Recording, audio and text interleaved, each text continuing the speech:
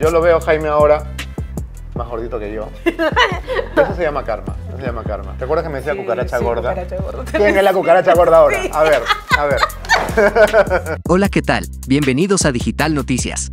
Humberto Martín Ortiz Pajuelo, mejor conocido como Beto Ortiz, es un periodista controvertido. Beto estuvo como invitado a la plataforma digital Café con la Cheves de Carla Cheves.